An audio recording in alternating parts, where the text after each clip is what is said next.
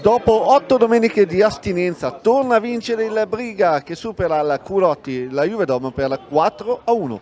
Il primo sussulto del match al quinto, lancio dalle retrovie di Bianchi per Rogola che anticipa Suffi senza però inquadrare la porta.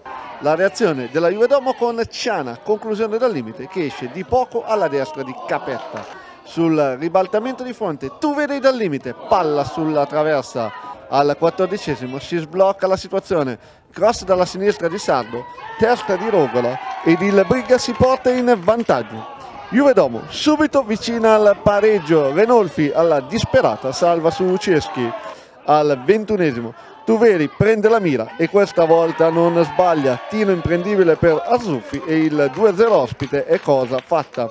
Briga vicino al tris da Balossini allo scatenato Tuveri, tiro strozzato controllato da Arzuffi. Alla mezz'ora Usei dal limite, Arzuffi alza sopra la traversa. Dominano gli ospiti che colpiscono con Rogola la seconda traversa di giornata. Sulla ribattuta poi il solito Arzuffi salva su Bianchi. Dopo tanto briga, una perla di Ceschi e la Juve Domo torna in partita. Al 37esimo Reinolfi dal limite, Arzuffi in volo salva il risultato.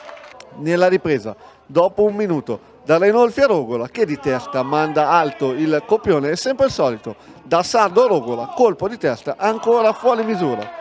La Juve Domo ci prova con Ferrera, conclusione che termina sul fondo. All'undicesimo arriva il gol del 3-1 ed il merito è tutto di Rogola.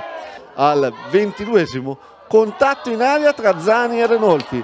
Il signor Vallelunga di Collegno non ha dubbi e indica il dischetto dagli 11 metri. Gogola trasforma. La partita praticamente finisce qua. Al Curotti vince il Briga per 4 a 1